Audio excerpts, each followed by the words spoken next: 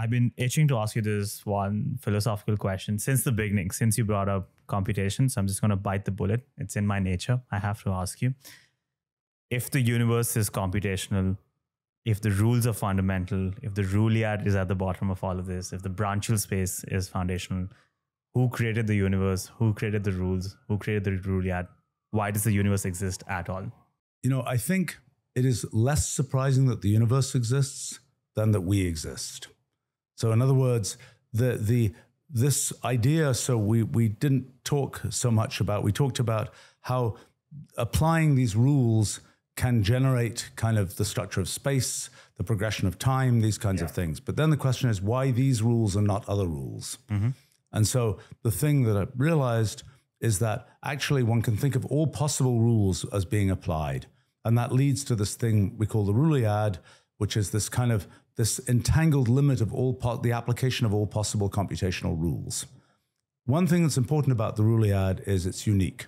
There is only one thing that is this limit of all possible computational rules being applied. There's no freedom in it. It's not something where you say, well, I don't like that Ruliad, I want this Ruliad instead.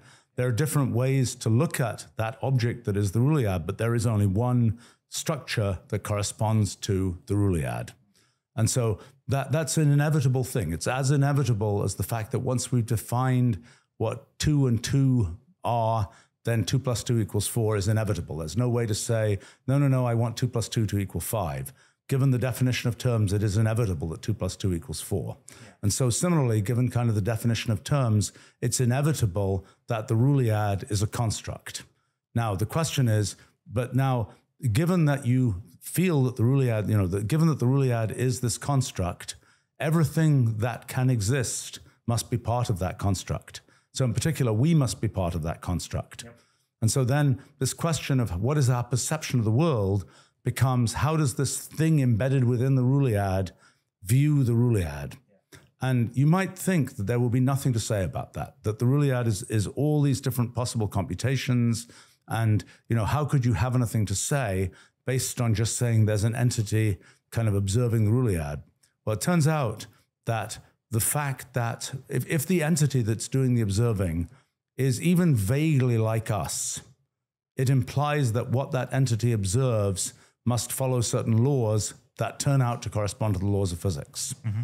So the, the things that are critical about us as observers seem to be, among other things, that we are computationally bounded and that we believe we are persistent in time.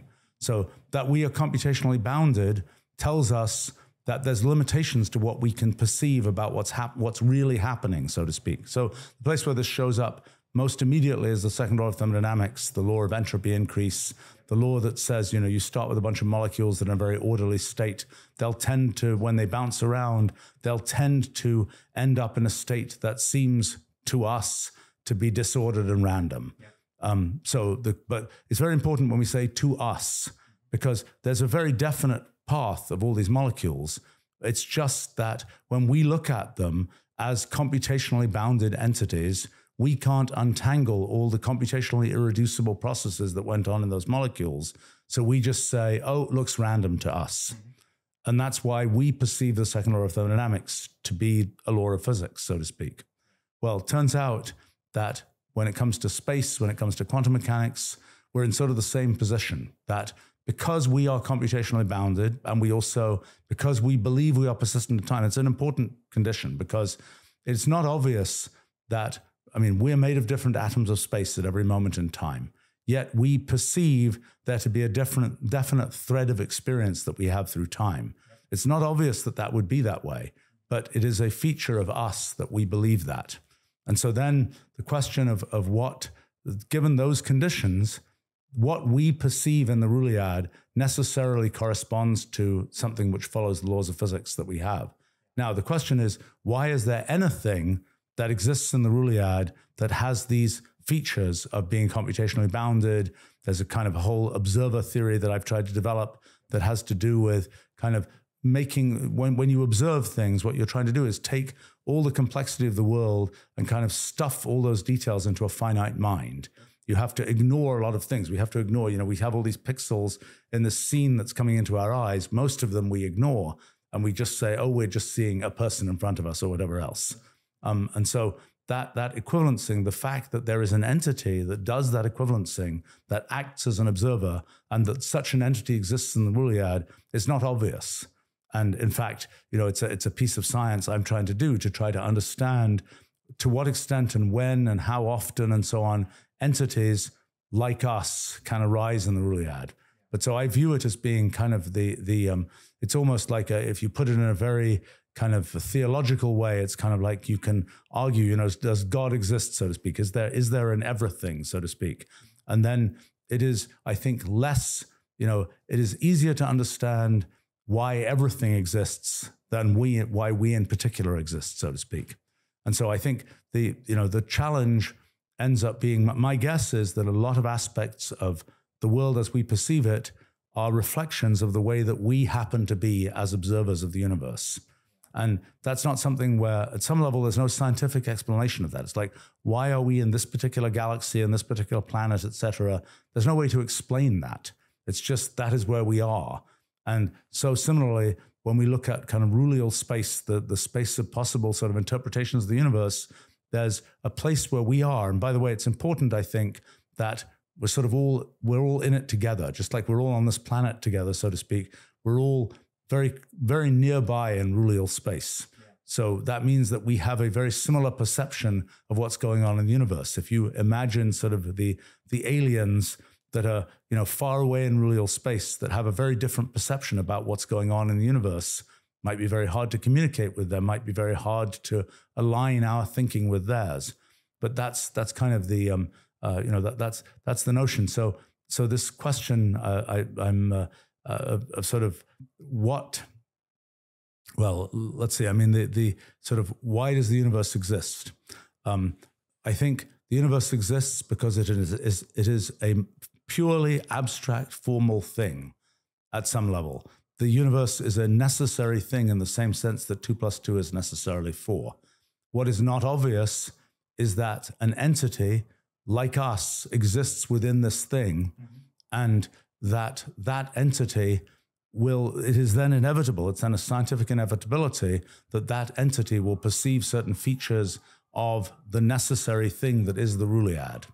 Um, why why entities like us exist uh, that, that there is some science still to be done to figure that out to figure out what causes because because let me give the example i mean the fact that it is in many aspects of us are important. Like the, the, the size we are is important.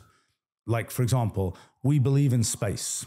The fact that we believe in space is a consequence of various kinds of scales. So, for example, you know, look around the room, it's 10 meters to the other side of the room or something. Light gets from that side of the room to me in a microsecond. Yeah. Yet my brain does not respond to that for milliseconds. Mm-hmm. So for me, it's kind of like there is this state of space at a moment in time. But if I was a different size, that would not be a thing. If I, if I were, if I thought a million times faster than I do, then I would see all the photons arriving. And I wouldn't necessarily believe in this thing that is this sort of slice of space at a given moment in time. So a lot of these aspects of the way that we perceive the world depend on the way we are. Now, the question of whether why it is the case that it's even it's it, it's something you have to prove that's even possible to have an entity like us in the Ruliad. That's that's not so hard to establish, but it is something where you know is that a generic thing that happens? Is that you know how common are entities like us in the Ruliad, for example? I don't know, but that's a thing that is conceivably scientifically answerable. Um, and and then you have to ask, you know, as you go a certain distance away in Rulial space what is the probability that you have another entity that has certain characteristics and so on.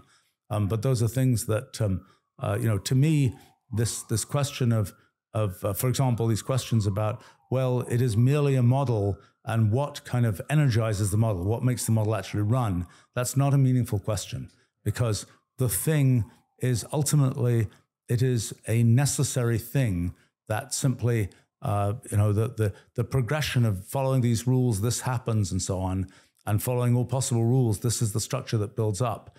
There's no, there's nothing that, nothing, nothing has to kind of execute that. It just as just as two plus two equals four is not something you have to execute. It's just something that is. There is no creator, no God, no simulation that created the Ruliad that's outside of the Ruliad. That's true. I, I think that I think that's a it's a you know the Ruliad is this inevitable object. The part that is uh, you know the challenge is to say uh, there's you know that we exist within this. And I mean what you talk about, you know, I, I have not really traced it through, and it's sort of an interesting thing in different religious theological traditions. Yeah. There are different ways of thinking about the existence of the universe, the creation of the universe, those kinds of things. Mm-hmm. Um, it's uh, uh, I think one of the things that's pretty interesting about the science we've been doing is that those questions have mostly been ignored for the last 300 years yeah. because science has been doing so well and it has certain things that it concentrates on, and those things aren't answering questions like why does the universe exist? And so we're now back to a situation where we can actually start asking those questions. And I think it's it's a um, it's really quite interesting to try and understand sort of what the correspondence is between those kinds of questions. For example, here's here's one. I mean, this this whole question about, for example, subjective experience and its relationship to uh, kind of what's out there in the world are things that one can start to address. I'll give you just one one example of a kind of an interesting thing, which is you know as we as we sort of uh, uh, progress, we kind of ex- start exploring physical space. We send out spacecraft; they get you know a certain distance away and so on. We can also explore rulial space by exploring sort of different points of view about how the universe works. And gradually, as science progresses, as paradigms get new paradigms get created, we're colonizing, we're exploring in rulial space. And so you might say, well, you know, clearly the future of everything is to expand our domain in rulial space, just like you might say the future of everything is to expand our domain in physical space. Yep. But it's one of these quite interesting, be careful what you wish for types of things. Because as you expand further and further in rulial space, and to some extent also in physical space, there is a sense in which you no longer coherently exist. That is, if, if you are everything, then in a sense you're nothing. The fact that we have a definite existence, a definite thread of experience, is a consequence of the fact that we are limited. If we were not limited, if we expanded throughout rulial space, we would not have this definite sort of unique kind of coherent thread of experience. So it's kind of a, and that, that's a, that's an idea. This idea that eventually you reach the point where you sort of melt into everything else in the universe is an idea that has existed in a bunch of theological traditions. Yeah. But it's not been something where there's been a way to kind of think about that kind of kind of idea scientifically.